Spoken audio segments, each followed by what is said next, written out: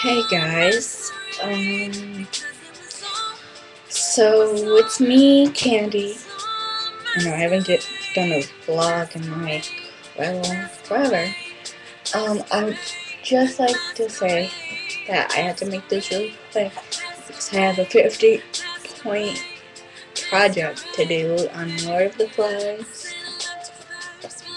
I'm just hoping that my teacher approves it, even though it's kind of late. I uh, I have to have it done for tomorrow. So yeah, I'm a procrastinator. But I just want to say hi and ask you guys how you doing. Comment below. Tell us how you doing. And love you guys. Bye.